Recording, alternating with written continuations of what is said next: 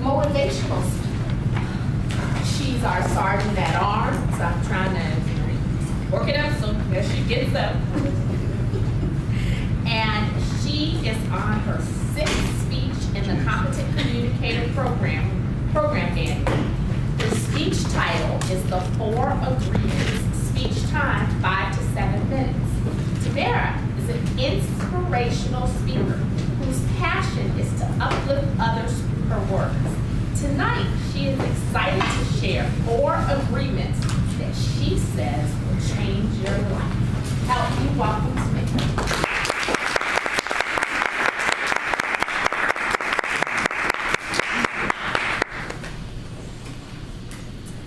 Good evening. The woman that you see standing before you right now is a completely transformed woman from four years ago. Four years ago, I hated myself. I had self-rejection issues. I was in an abusive relationship for going on 12 years. And my ex-husband told me for 12 years that I was never gonna be anything in life, that I was a loser, that I was a failure, and I internalized that, and I believed that for many, many years about myself. And so I started to chase love in all the wrong places. I was madly chasing love. And it got so bad, and I got so desperate, I turned to drugs. I turned to sex. I turned to anything to do so that I could feel loved, so that I could feel that for the first time in my life, I was good enough, because I never felt good enough. And I was always trying to prove myself through everything that I did, through school, through getting a bachelor's degree, through getting a master's degree, through having kids. I was always trying to prove that I was good enough. But it didn't work until I realized that I had to do some work on myself. It was about me, it was about self-reflection, and it was about falling in love with myself. But back to the story about my ex. It was about four years ago. This was about the third time that he had cheated on me. I kept leaving and I kept going back. I kept leaving and I kept going back. I had two little kids at the time, my boys, three and six. And I remember it one afternoon, it was Valentine's Day. And on this day, I found out for the third time that my husband was cheating on me. And I was fed up and I was tired and then I was making a decision. So I decided I was gonna leave him. I packed up all the stuff while he was at work. He had no clue that I knew that he cheated on me, nothing. Got the kids, moved in with my mom in Palmdale. Remember I said I was doing a lot of drugs at the time to get away, to numb the pain, to numb the pain of life, of being alive, because I was tired of living in it. I was tired of living it. I had created my personal hell. It was time for me to take a stand for myself and get out. What did I do? I dropped the boys off with my mom. I met up with my friends and went and got high for three days straight in San Bernardino Mountains. At the time, it felt great because I was numbing the pain.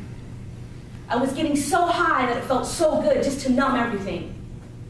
Left my kids with my mom, didn't know where I was for three days. I finally decided, hey, you know, it's time for me to go home. And I'm not proud to admit this, I was high as hell and I drove home from San Bernardino Mountains to Palmdale after three days of straight partying all night, smoking crystal meth, dancing, up, having a great time to numb the feeling of not being good enough, to numb the feeling of not being happy with who I was. So I get home, I get out of my car. After three days of partying, I walk into the apartment. My three-year-olds run up to me, Mom! I'm literally so high, I walk into the bathroom and I pass out, black out completely. The next thing I knew, I woke up in the hospital. And I was in and out of consciousness, and in the hospital, I literally was in and out of consciousness. I kept hearing things beeping, I kept seeing doctors, I was in and out. And in that moment, I made a decision for me. And I said, God, God, please, please, if you let me live, I promise that I'm going to do my God's work for you because I know that I have a purpose here to fulfill. God, even if you don't let me live for me, let me live for my kids. And of course, he did let me live because I'm here with you guys now.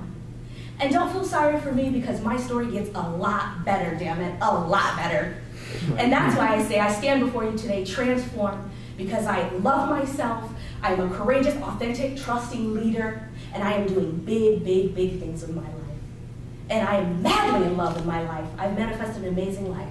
And this is where I want to tell you I have a lot of tools that I use, but tonight I want to focus on four agreements that I have with myself that I want to offer to you as a gift. And it's from a book my boyfriend Terry introduced me to about a year ago called The Four Agreements by Don Miguel Ruiz. Anyone has, have you heard of that? Raise your hand. Mm-hmm. Yeah, it's an amazing book. So very quickly, the first agreement is be impeccable with your word. It's simple. Say what you mean and mean what you say is what I always tell my kids. Be impeccable with your word. And there's an acronym that I like to use called THINK. Is it true? Is it helpful? Is it inspiring? Is it necessary? And is it kind? True, helpful, inspiring, necessary, and kind. And if you do that, most of the time, you're being impeccable with your word, and people will respect you more, and you'll in turn respect people more because you're a woman or a man of your word. Number two, don't take things personally. Don't ever take things personally. People want to tell you things about yourself and they reflect their images on you, when really it's their issues, it's not your issues. For example, the other night my mom tells me I don't have good boundaries for my kids. Could have got mad, could have took that personally, and I said, you know what, thank you, but I don't receive that. I choose to raise my kids differently than you do. I, I let them do self-expression. I let my daughter go to school in purple and black and blue if she wants to, which my mom didn't let me do. So it's okay, I don't take it personally. Number three is seek first to understand, but it's uh, don't make assumptions is, is the key word, don't make assumptions. Seek first to understand. Communication is everything, guys. Communication all day long is what we want to master. Because when you can effectively communicate with people, you can enroll them into your vision for life, and you can get people to do anything you want them to do. So that's a really good key right there. Definitely. And the last one is always do your best. How you show up for anything is how you show up for everything. Mm-hmm. So do your best. You, you, you, you, you, you are in control of 100% of the energy you bring to every situation. And when you bring that amount of energy, you can uplift a whole room. Because you're just that awesome.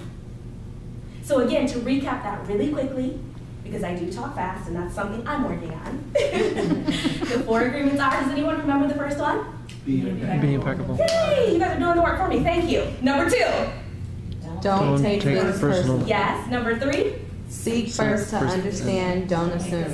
thank you. And number four, Always do your best. Best. thank you so much. And as Mahatma Gandhi says, be the person that you want to be and others will follow.